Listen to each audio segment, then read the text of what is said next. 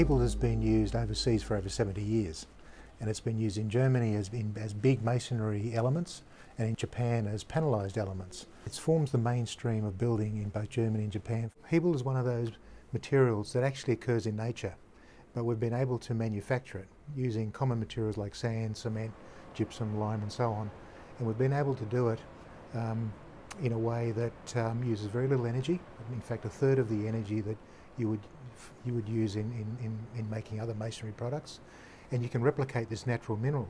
So you know, in a fire it doesn't give off toxic fumes, it doesn't burn, it's a great insulator against the heat and the cold, um, acoustically provides great acoustic insulation, you know, all in one material is just quite remarkable.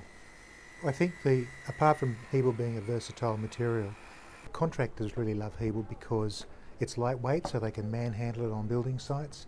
Um, it can be cut with common uh, saws and woodworking materials. So for, for building sites it's really versatile in that way.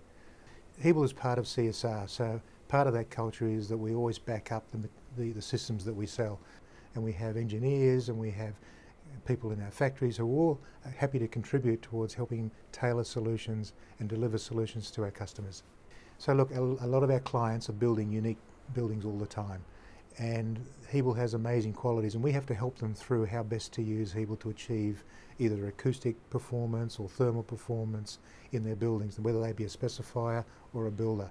So our teams, our engineering and our sales teams work with those people to, to help them design and also help them project manage to ensure that quality assurance on site is maintained throughout the project.